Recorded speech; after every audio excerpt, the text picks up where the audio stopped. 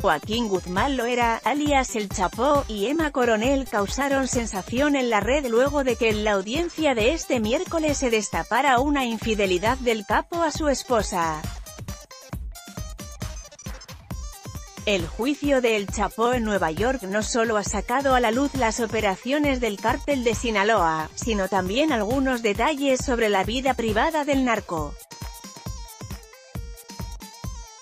Dentro de los más de 1.500 audios que el FBI consiguió de la organización criminal, se encuentran las llamadas de Agustina Cabanillas Acosta, amante de Guzmán lo era detenida en febrero de 2012, en las que lo llama «amor» y le dice que es la persona más importante para ella.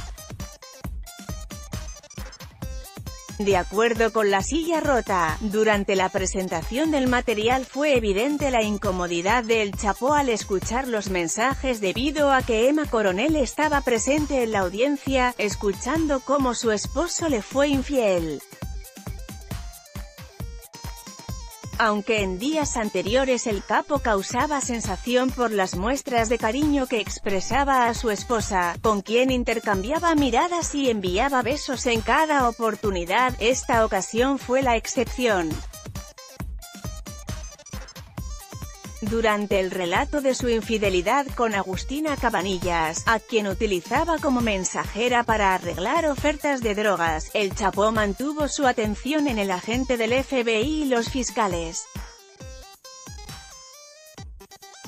Según lo presentado en la corte, Guzmán Loera puso un software espía en el teléfono de su amante, quien al saberse espiada, lo insultó, lo llamó idiota y le dijo que era más inteligente que él.